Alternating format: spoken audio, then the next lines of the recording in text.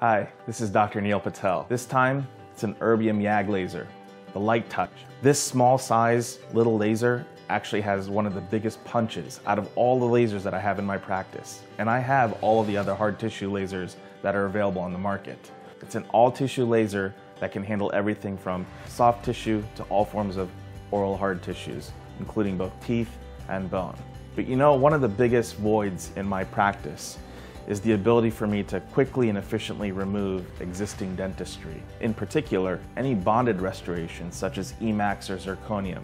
Now you've probably heard all of the stories about how doctors are constantly asking for what's the best burr to remove these Emax restorations or zirconium restorations when it comes time for placing them.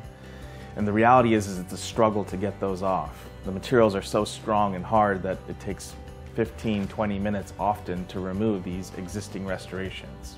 Well, this LiteTouch, it can remove it in about 30 seconds, which is unbelievable. I can debracket an orthodontic patient in a matter of a minute. I can prepare class one, class two, class three, and class four preparations for composite dentistry, all anesthetic free.